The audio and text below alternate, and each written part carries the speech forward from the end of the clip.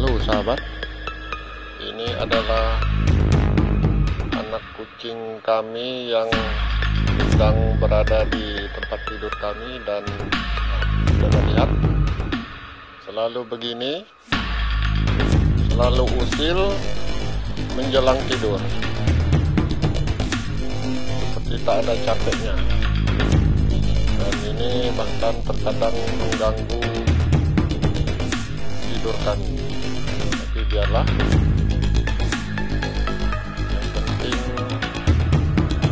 mereka bahagia semoga menghibur anda terima kasih